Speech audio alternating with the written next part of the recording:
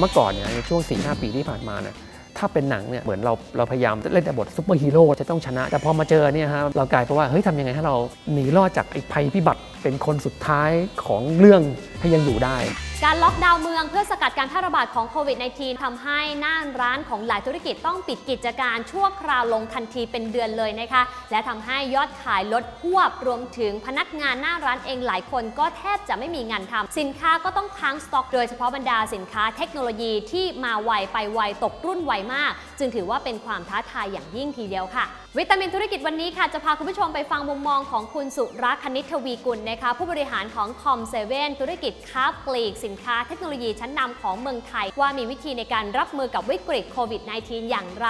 รวมทั้งอนาคตของคอมเซเว่นในรูปแบบของ New Normal จะเป็นแบบไหนค่ะ พอทางรัฐบาลประกาศสั่งปิดห้างสรรพสินค้านะครับก็ส่งผลให้เรามีสาขาในกรุงเทพทั้งหมดถูกปิดลงจนกระทั่งมาถึงต้นเดือนเมษาเนี่ยฮะจำนวนสาขาเราถูกปิดจาก 800 ที่มีอยู่ทั้งหมดเนี่ยเหลือ เพียงแค่ 200 สาขาที่ยังสามารถเปิดขายได้อยู่ทำให้เราประมาณการแล้วครับว่าถ้าเป็นอย่างนี้ไปทั้งเดือนน่าจะจะในเหลือรายได้ให้เราแค่ประมาณสักสิกว่าเปอร์เซ็นต์แต่งั้นเราเห็นแล้วว่ายอดขายเราหายไปประมาณ 90%เปอร์เซ็นต์เรื่องแรกที่สำคัญที่สุดคือ cash flow ที่เรามีอยู่เนี่ยเราเพียงพอแค่ไหน เรามียอดขายเหลือแค่ 10กว่าเปอร์เซ็นต์ดังนั้นเราก็ไปนั่งดูว่าค่าใช้จ่ายอะไรบ้างที่ต้องตัดได้บ้างนะครับ ไปเจรจากับทางเจ้าหนี้ ไปคุยกับทางแบงค์ทั้งหมด แล้วก็ขอความช่วยเหลือจากทุกทุกทางนะฮะทาง partner ทุกคน จนกระทั่งมาเกิดโควิดเนี่ยฮะสิ่งที่เราคิดว่าดี จริง ๆ แล้วมันไม่ใช่ยกตัวอย่างนะครับ อย่างเช่น ช่องทางที่เรามีในฝั่งของ retail เรา cover ได้หมด แต่ว่าช่องทางของออนไลน์ เราทำได้อ่อนแอช่องทางที่ 2 ที่เห็นได้ชัดก็คือช่องทางของตัวกลุ่มลูกค้า 90%เนี่ยลูกค้าของเราคือรีเทลจริง ๆ แล้วเนี่ยยังมีตลาดอีกใหญ่มากที่เป็นฝั่ง corporate ฝั่ง commercial ฝั่ง education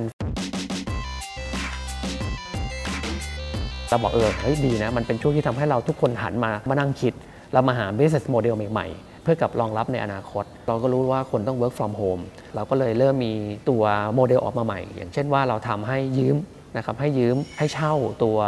อุปกรณ์คอมพิวเตอร์นะครับสำหรับไปใช้ที่บ้าน เมื่อลูกค้าโทรเข้ามาแล้วเนี่ยเราต้องอนุมัติให้เสร็จให้เร็วที่สุด แล้วก็ต้องการจะส่งสินค้าให้ได้ภายใน 24 ชั่วโมง เราก็เลยเริ่มมีการปรับปรุง flow งานทั้งหมดของออนไลน์นะครับรวมถึงตัว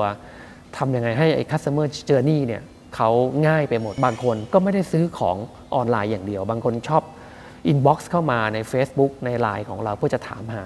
ก็เจอว่าเออช่องทางจำหน่ายนี้ก็เป็นอีกหนึ่งช่องทาง ที่ลูกค้าบางคนก็ชอบที่จะมาเห็นสินค้าเป็นๆนะเราก็ทำออฟฟิศเราที่มีอยู่เนี่ยแหละฮะให้เป็น drive through เลย บางลูกค้าก็ต้องการจะอยากจะมาเห็นจริงๆเราก็ตัดสินใจเปิดเป็น pop up store ขึ้นมาที่บริษัททันที มีสินค้าที่เรียกว่าจำเป็นแล้วกันนะฮะ สินค้าหลักๆ ที่จำเป็นต้องต้องใช้ ทางทีมงานที่เป็นทีม expansion สาขา ก็เลยคุยกันว่า โอเค ถ้างั้นเดี๋ยวปีนี้เราจะลองเปิด stand alone ละ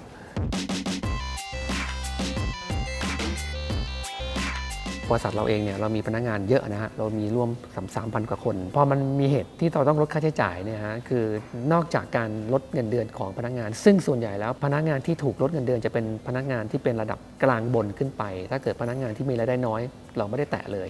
นะครับดังนั้นอันนี้เราก็เข้าใจว่าทุกคนมันก็มีต้นทุนนะฮะดังนั้นเนี่ยเราก็จะลดเฉพาะพนักงานที่มีเป็นระดับกลางถึงบนขึ้นไป พนักงานทุกคนต้องปรับตัวนั้นอันนี้คือสิ่งที่เราให้กับพนักงานทุกคนว่า ตัวเราเองเนี่ยเราต้องปรับตัว เรามีความรู้แค่ไหน ทุกวันต้องเสริมความรู้ให้ตัวเองมากตลอด เราต้องมีการพัฒนาตัวเองตลอด เราต้องมีมีการเสริมความรู้เพิ่มเติม ตัวบริษัทเองเราก็มีทำเทรนนิ่งนะฮะเพื่อจะให้พนักงานเนี่ยมีความรู้ความสามารถเพิ่มเติม อันนี้คือสิ่งจำเป็นเลยนะฮะมาถึงตรงช่วงต้นเดือนของ พฤษภาคมนะฮะเราเริ่มเห็นสัญญาณที่ดีขึ้น กระแสเงินสดเราดีขึ้น มันถึงเวลาต้องช่วยซัพพลายเออร์เราดังนั้นสิ่งที่เราทำก็คือยอดหนี้ทั้งหมดที่เราติดอยู่ที่เราค้างอยู่กับซัพพลายเออร์ทั้งหมดนะฮะไม่ว่าจะถึง due หรือไม่ถึง due เนี่ยเราทำการจ่ายคืนให้ก่อนเวลาด้วย ถ้าเกิดคู่ค้าเราคนไหนต้องการเงินทุนหมุนเวียนเนี่ยก็สามารถที่จะมาเอาจากเราก่อนล่วงหน้าได้ เราก็คิดว่าไอ้พฤติกรรม new normal ที่เกิดขึ้นเนี่ยครับ มันก็น่าจะทำให้ลูกค้าเนี่ยคุ้นชินกับการดูสินค้าผ่านเว็บมากขึ้นออนไลน์มากขึ้น สิ่งที่บริษัทต้องปรับตัววันนี้ก็คือทำยังไงให้ลูกค้าเนี่ยมีประสบการณ์ที่ดีบนเว็บไซต์ บนแอปพลิเคชัน แล้วเป็นประสบการณ์ที่เรียบง่ายเหมือนกับที่เขาเดินอยู่ในร้านเราทำยังไงให้การเชื่อมต่อระหว่างตัวเว็บไซต์ของเราออนไลน์ของเราอะกับหน้าร้านเนี่ยมัน seamless